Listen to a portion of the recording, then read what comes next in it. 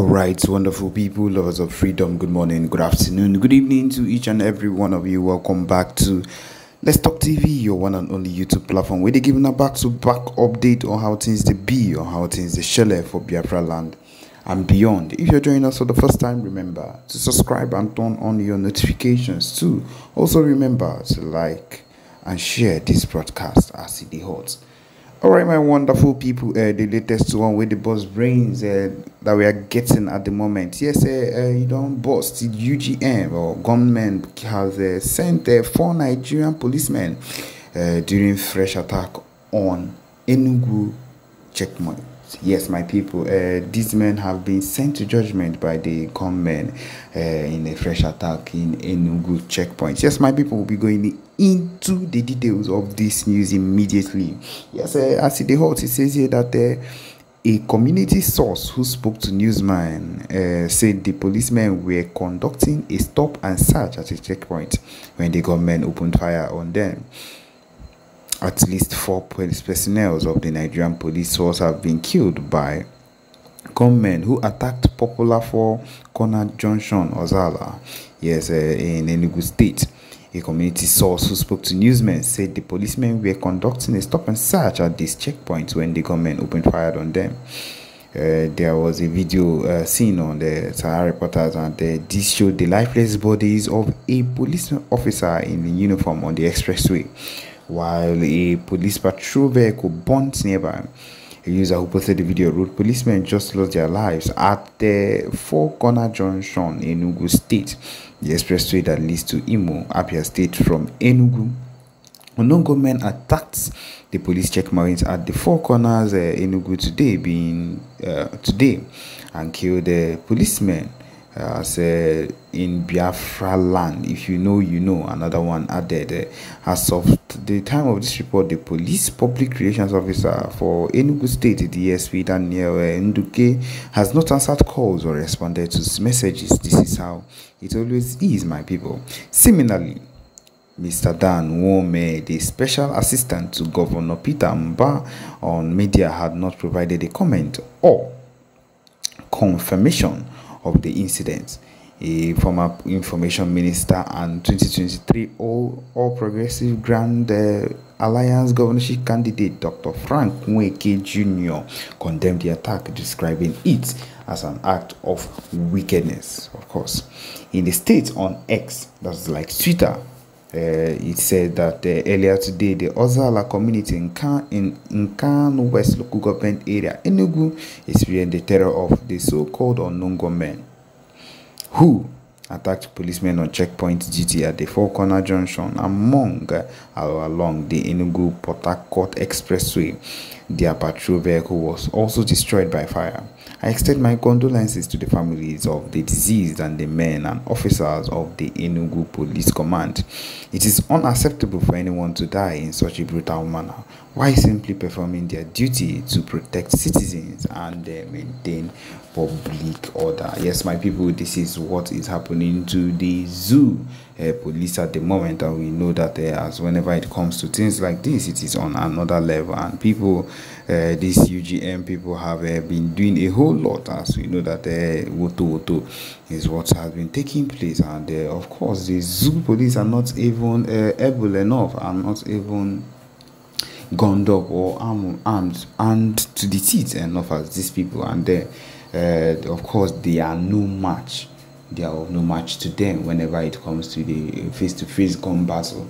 And uh, this just lets us understand that uh, the zoo security is as porous as it can ever be and it is not even safe for anybody to stay and depend on the safety that comes uh, with the with the government or with the the, the so-called uh, zoo policemen it is not even advisable at any point and so it is one of the things that you would think of and you would not want to think about a lot of times because of the things that have been taking place uh, in nowadays rather in the in Biafra land. And so it is one of the things that you would look at and you'd actually want to prefer that uh, Biafra comes and the Biafra independence takes place as soon as possible because uh, the sooner the better, the sooner we be, uh, would all be protected and things would go better for us. And so, in a whole lot of things, and would really want their freedom because if we stop fighting, uh, if we stop fighting, my people, then we are letting them know that we are not as serious as we've been that is just the truth of the matter. Anytime we decide to stop fighting, you, you, it will just mean that yes, that we are not as serious as we claim to be. In quotes, it will just be something that they would come out and say. It means that we are not ready for whatever it is that is happening soon. And so, my people, we are not giving up, and that is what these people think think think they have against us, being ready or looking for where to give up. We are not giving up anytime soon, and that is the truth of the matter okay my people uh, we have uh, another one in our in our front right now that we are getting. He says here that 44 fear 45 uh, has been feared dead. Uh, 45 headsmen have been feared dead uh, recently in Benue community. And so it, it could be uh, they say 45 have been feared dead in Benue community. Uh, my people see the killings in Sankera axis, particularly Ukum local government area of Benue State, has uh, remained unbeaten because of the issues that have uh, been coming out ever since. He says that, however, unbeaten, resulting in the killing of about 45 persons in the area. However, the member in the Benue State uh, House of Assembly uh, representing Ukum State constituency, Ezra Nyiyongo said about 20 people lost their lives in the incident. The incident which took place in Bage uh, community of Ukum local government area and also claimed the lives of a family of seven, left 30 persons with various degrees of injury, while scores have been declared missing. In the attack by the by the people who were working with the members of a militia group in the area in its bid to eliminate another militia group Daily Independent learned that most of those people that were killed were members of the two rival militia gangs.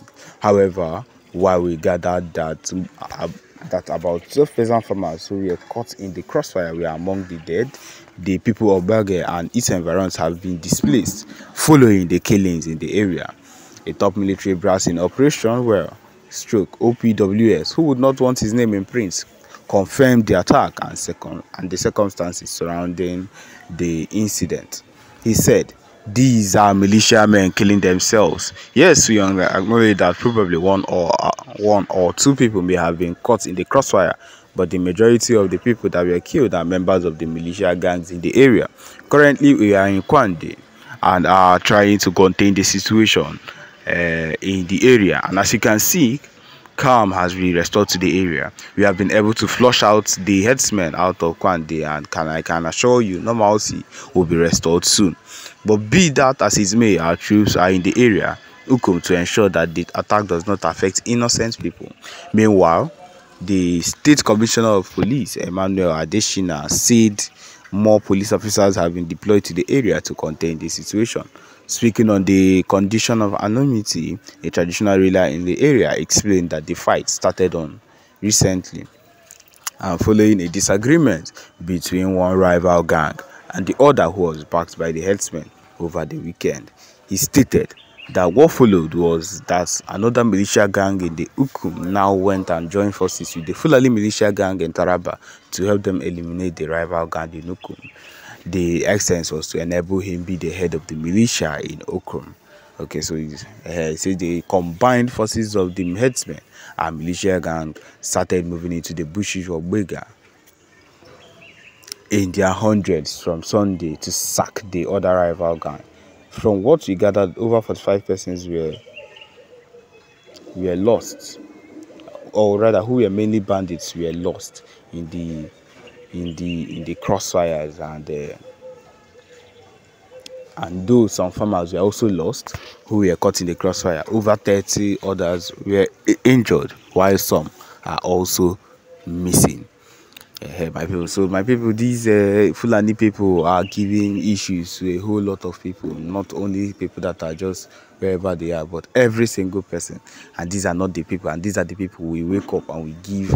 We are saying that in in Inowere or Iwo land or in Anambra, wherever it is, that would wake up and give them a space or an opportunity in our land to stay and go and graze their fowls. Look at the amount of issues they are causing in their own place. Yes in various states. So think about what these people will be able to do in our own state. Think about the the, the, the mayhem they would cause, allowed and allowed into our land. Already, we already know that they have already been causing a whole lot of issues in our land. Now think about what they will do if we are now if we now give them that audacity to enter into our land and do whatever it is they seem uh, that is right for them. My people, it means we are sem- uh, sentencing ourselves to death, which would be the worst thing we could ever do for ourselves.